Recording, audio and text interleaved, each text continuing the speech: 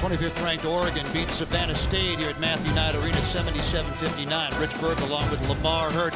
Closer than the Ducks wanted, closer even than that score indicates. Yeah, you got to give Savannah State some credit. They played well, really ran some good offensive sets. But as Elgin Cook told us after the game, he didn't feel like they had the kind of energy they needed. But you got to like Dillon Brooks' energy early on. After being sidelined with foul trouble in their last game versus Baylor, he comes out tonight aggressive from the start, reading the defense, backdooring on the overplays.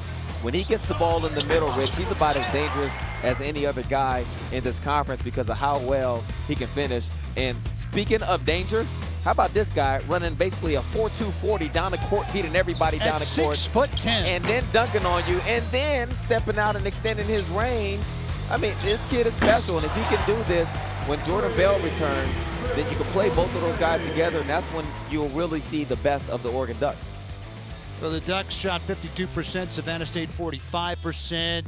Oregon was just 2 of 10 on threes in the second half, and rebounds were about even in the second half. Yeah, you know, the three-point field goal one is the one that took them out of rhythm offensively. They're a team that's offense is predicated on stretching the floor, knocking down threes, so expect them to get a little better at that.